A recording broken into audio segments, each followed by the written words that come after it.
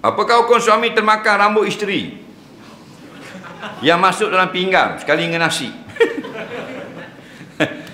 rambut bini masuk dalam mi goreng. Nah, ah, dia pun makan dengan rambut-rambut. Ah, hukumnya tidak haram.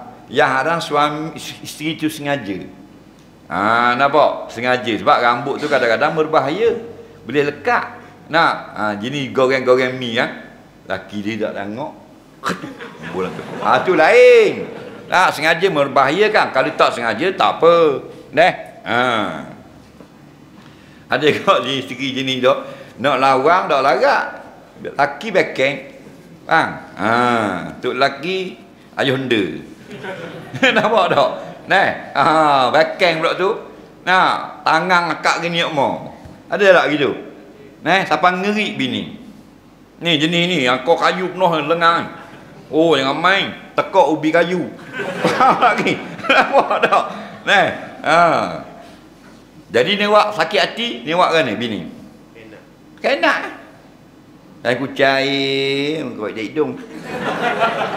Oh berat. Dah sakit hati Nak buat depan tak ni. Apa tangan muka pun jahat kan?